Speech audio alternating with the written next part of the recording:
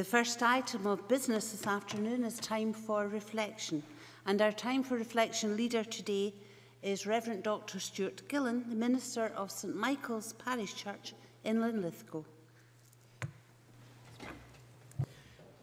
May I thank you, Presiding Officer, for your kind welcome and for this invitation. It's an honour to address Parliament in this time for reflection.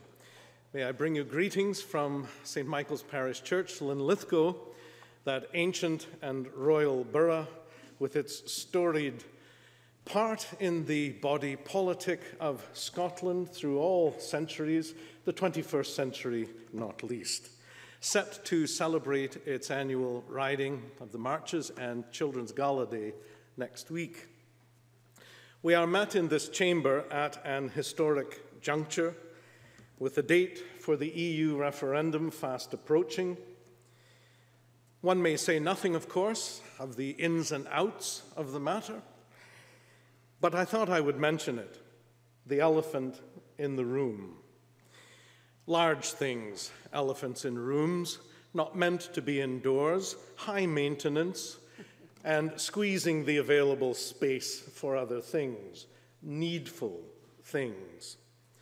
I spent 12 years of my life in Lesotho and South Africa, this from 86 to 98, years of historic change, from the imposition of a national state of emergency by P.W. Botha through to the release of Nelson Mandela, his election as state president, so easy to rhyme it off now, so much more difficult then, and through to the presentation of the first five volumes of the report of the Truth and Reconciliation Commission.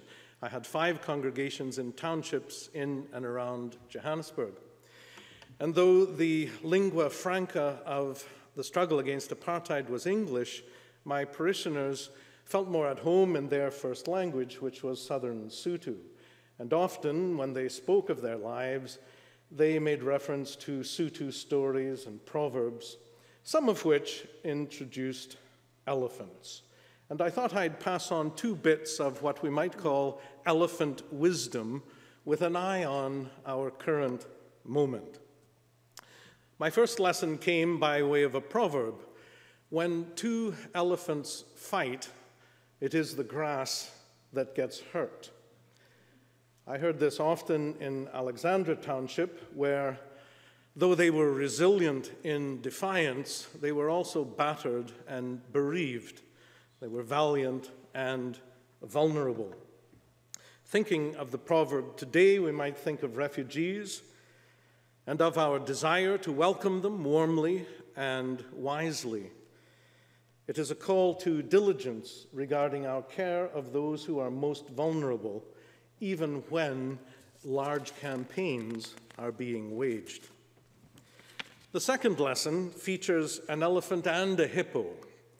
Early on, I received the following guidance, a young Canadian in Africa. You must be like the elephant and not like the hippo. The hippo has a very, very large mouth very small ears.